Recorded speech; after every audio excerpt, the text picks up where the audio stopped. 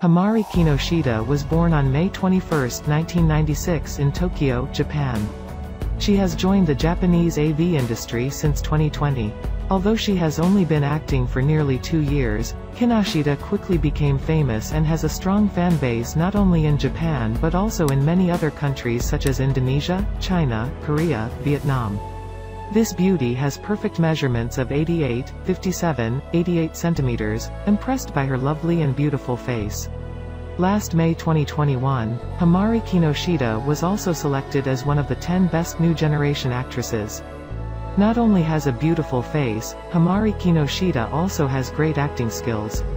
Her movies are always captivating, and that's why she is considered as one of the most promising actresses in the Japanese AV industry today.